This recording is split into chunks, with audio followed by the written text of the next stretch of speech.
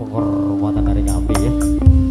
Jadi kaki warga besar masyarakat Jogor kita terkasih semoga berbahagia selalu.